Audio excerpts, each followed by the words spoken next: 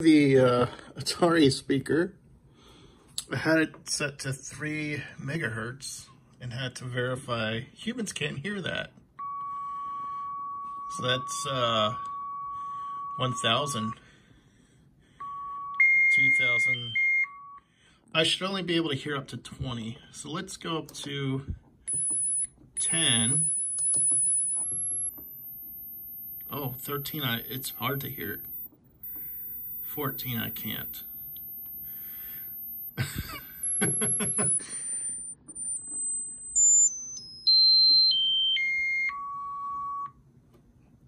let's see.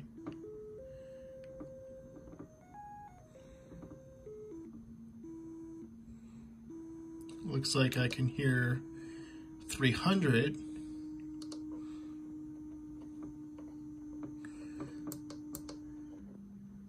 Two hundred is, I can barely hear it. Maybe I need to amplify it. I don't want to go too far.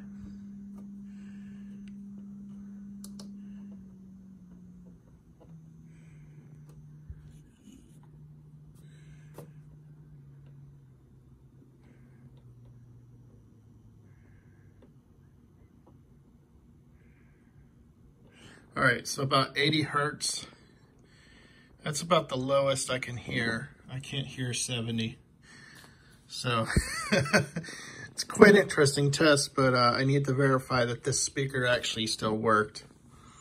So uh, it's doing fine. I have it set at uh, 10 volts. So uh, let me let me bring it up. So that's 10 hertz. Let's go to voltage. Yeah, voltage applies how loud it is.